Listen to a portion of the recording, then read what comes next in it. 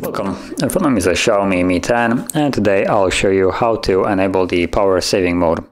So to get started all you need to do is pull down the notification panel, extend it and we should have it somewhere here so just try to find it. Okay so it's on the second page, battery saver and we can actually hold the option and it will take us to the uh, options of the battery saver so number one, you have at the top the check. So it basically does the same thing as though you would click on it like so, as you can see now it's enabled. Uh, but you also have at the bottom schedule.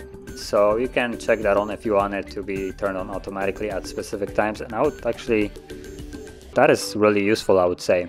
So because battery saver, as you can see, uh, restricts the activity of uh, system apps, uh, freezes apps in the background, uh, cleans cache whenever device is locked, uh, turns off background services, sync GPS to save battery. So it also does, I believe, a couple other things that aren't provided here, like for instance, uh, updating your messages. So if, for instance, you're using some kind of Wi-Fi or network-based uh, messaging app like uh, WhatsApp, uh, Facebook Messenger, stuff like that, uh, you will get messages in bulk rather than basically being one after another uh, as they're being sent by the other person.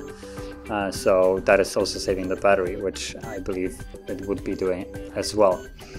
So during the night, you most certainly do not care about all those services, so you can actually turn that on um, and it will also be saving the battery uh, throughout the night if you want to do that.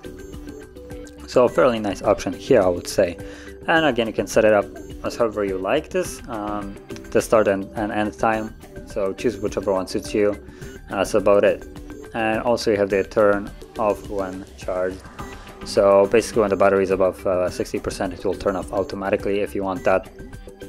Um, and yeah, that's about it. So that is basically how you would enable. And also um, other additional, thing, you can manually enable and disable it through here as you like. So if you found this video helpful, don't forget to hit like, subscribe, and thanks for watching.